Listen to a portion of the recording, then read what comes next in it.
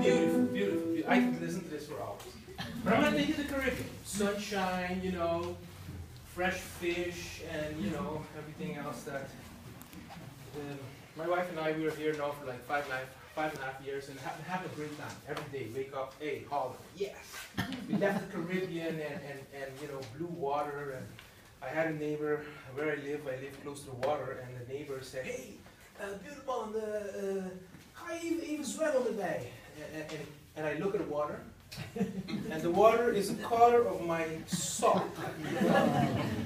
and I said, Buurman, I'm going on vacation in Aruba. I'm going to swim there.